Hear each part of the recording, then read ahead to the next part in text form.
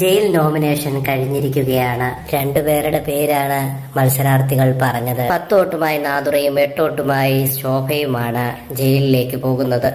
Big boss പറഞ്ഞത് പ്രകാരം plasma ടിവിയുടെ മുമ്പിൽ വന്ന് നിലവിലെ ക്യാപ്റ്റനായ ശോഭ തന്നെ അത് പ്രഖ്യാപിക്കുകയായിരുന്നു.